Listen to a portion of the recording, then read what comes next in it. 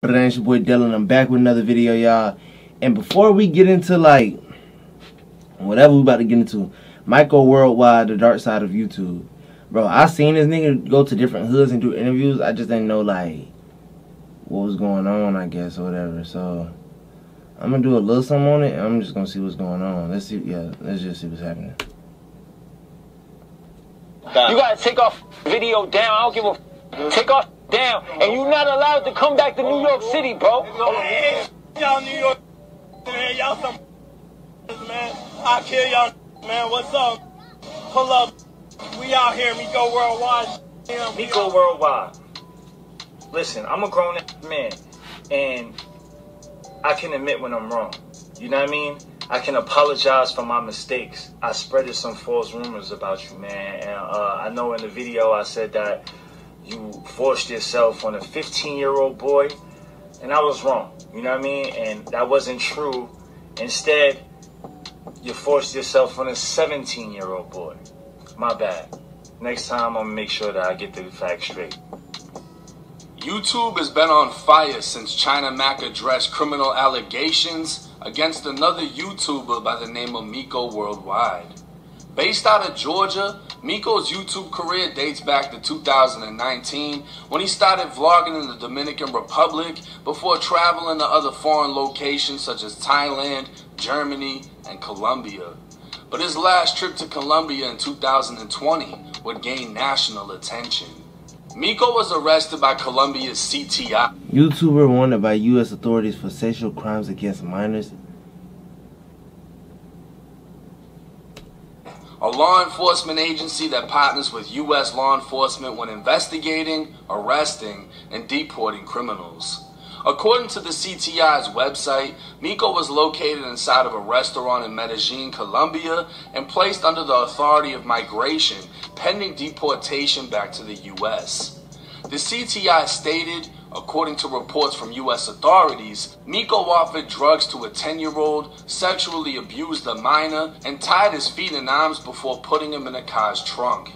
The attack occurred in the state of Georgia in 2018, and for this fact, there is a conviction and an arrest warrant. The article also states in 2012 Miko was convicted for sexual crimes against another child under the age of 10 in Georgia. To evade the US, Miko left the country as a YouTuber where he traveled the world and shared videos of his charitable works. At the time, he had just over 30,000 subscribers. Because of his arrest in a foreign country, different international authorities began investigating whether his YouTube channel was a facade to contact children and adolescents for sexual purposes. Back in 2018, an Atlanta based news outlet posted an article titled Wanted Meth Trafficking Assault Suspects Sought.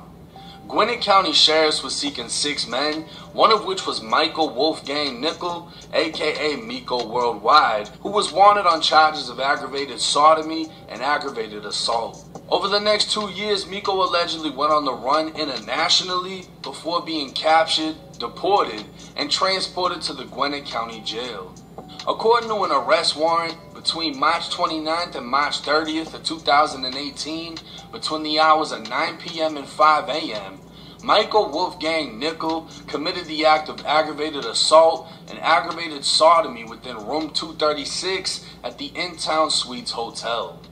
Miko Worldwide was accused of assaulting the victim with his hands by applying pressure to the victim's throat to choke him from behind while committing the act of aggravated sodomy. Nigga, what the fuck is wrong with you?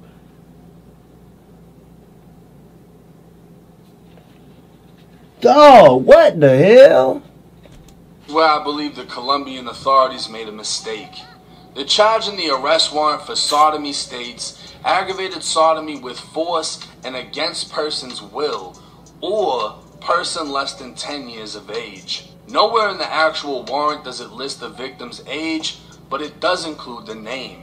The warrant also doesn't include the co-defendant, who was the third person present in the hotel room that night. March 18, 2018, Miko, who was 27 years old at the time, was hanging with a friend named Ishwa Long, who was 22.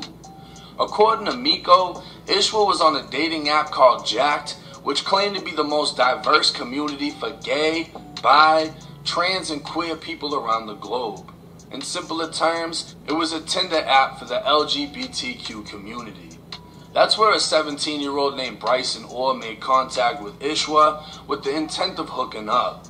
Miko would drive with his friend to pick up the 17 year old, and when he got in the car, Miko alleges he asked to be taken to Walmart. The three would enter the Walmart and Bryson would steal cough medicine before going into the bathroom where he ingested it. The cough medicine was known as triple C's and is commonly abused by teens to get a euphoric effect. The three drove to another location to buy marijuana before going to the hotel room that was under Ishwa's name. That's where Ishwa and Bryson smoked while Miko watched, and according to Miko, Bryson started to twerk naked on the bed after. That's when the three of them engaged in consensual sex. After they did what they did, they noticed 17 year old Bryson was bleeding from his rectum.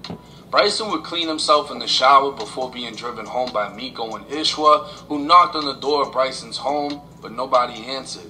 Bryson decided to check his brother's car door, which was unlocked, so he sat in the car and waved Miko and Ishwa off.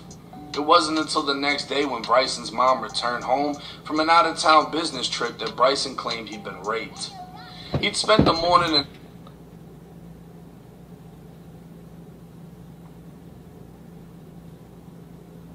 Bro, this is just like super like super weird like to react to, bro. Like y'all don't understand how I, how like whoa. Afternoon with his brother, but failed to mention anything about an assault. That same day, the Suwanee Police Department would respond to the hotel room, arresting 22 year old Ishwa Long for aggravated sodomy. Police would arrive at Miko's parents' house, next to which Miko fled out of the back of the home, evading a police pursuit that involved canines. Within a short amount of time, he was able to disconnect his phone, abandon his car, and quit his loss prevention job. When contacted by detectives, Miko claimed there'd been a death in the family, and Miko would remain at large for the next two years until capture in March of 2020. Now, the victim claimed to have a much different experience with Miko worldwide than the one Miko would eventually share in his defense. It turns out that all three men had met a month prior to this incident, and all three of them admitted to it. During that time, they'd smoke, and the victim gave oral sex to Miko, which would be used in Miko's defense as a clear indication of consent in a previous interaction. But in this interaction, the victim claimed to have blacked out. He started off by saying it was Miko who contacted him through the dating app using a fake name and profile picture. He asked if he wanted to do meth, to which he agreed. He admitted to stealing the cough medicine as Miko and Ishwa watched him take it in the bathroom, and when they got back to the hotel room, they asked him if he'd ever smoked angel dust.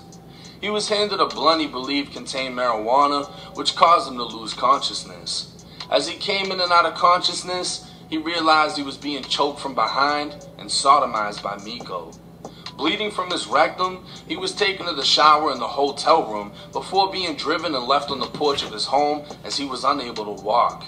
A medical examination would find a 3 centimeter anal tear within his body.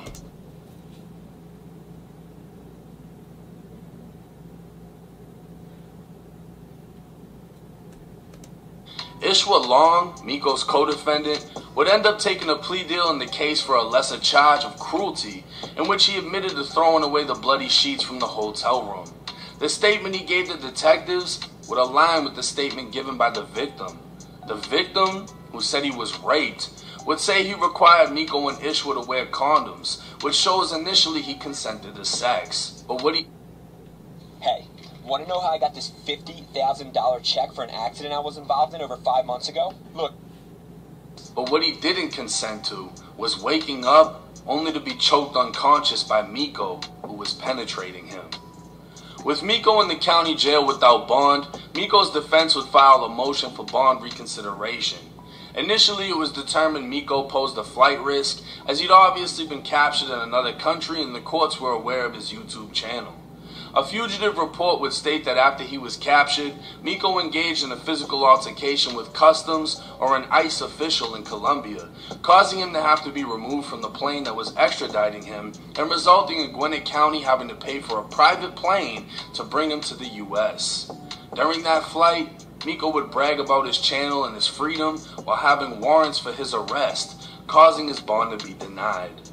His defense would argue that Miko had been in jail for over six months without incident. Miko had been attacked by an inmate but did nothing to defend himself other than stopping the inmate from further harming him. His defense would say Miko fled the country in fear of punishment for the crime he was accused of, but he had no intention of fleeing again. His lawyer would also detail Miko's background.